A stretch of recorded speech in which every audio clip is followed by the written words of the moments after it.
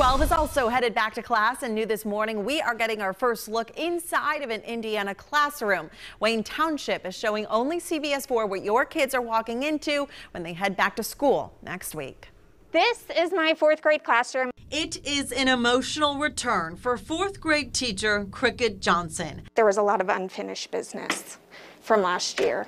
Just knowing that I didn't get to say goodbye to my kids she walked into her classroom for the first time last month and immediately got to work sanitizing and rearranging. They usually are in groups and they have a seat choice. They have differentiated seating. All of that is changing. Yes, all of that is changing. Not only did she have to get rid of her flexible seating, hopefully I can fit all these desks in here, but she had to reorganize her desks so that everyone is three to six feet apart and facing the same direction. It looks like I can fit three front to back. It is harder than I thought. Her students will be socially distanced and wearing masks. Johnson, a mask as well, potentially a face shield. It is very sterile. It's, you think that's going to impact how they learn?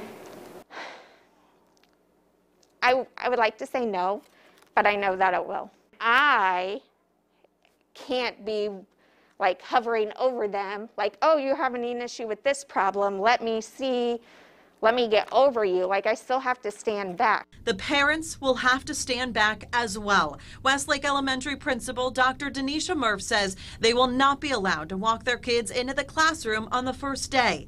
It will be especially tough for those sending their kindergartners off for the first time ever. It'll be different because we like the first day of school to be very welcoming and inviting for our families. Yeah, that's going to be especially tough. It's something I didn't even think yeah. of.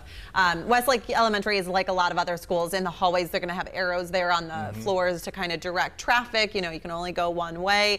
And then they have plexiglass barriers in the front office so that you can't be right in front of the staff members. Lunchtime, recess, it's all going to be adjusted to maintain crowd control, social distancing.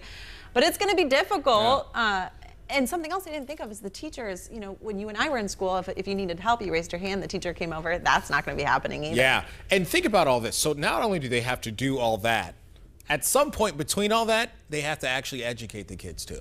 Right.